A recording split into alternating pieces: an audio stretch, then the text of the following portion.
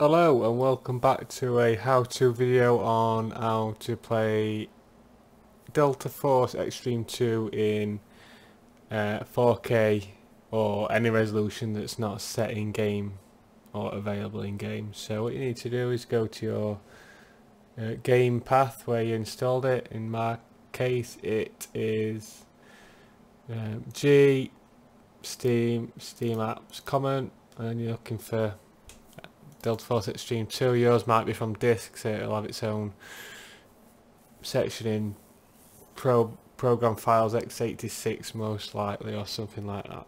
But once you find the game path, um, the first the file you need to find is the game um, CFG or text file.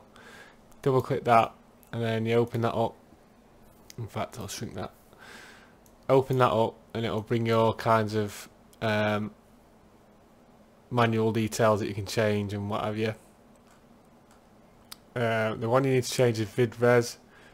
So it'll be set at whatever it was before. Um, change it manually. Just type the numbers that you want in there and save that. And that is all you need to do. If you want to you could change a few extra bits and bobs in here as well.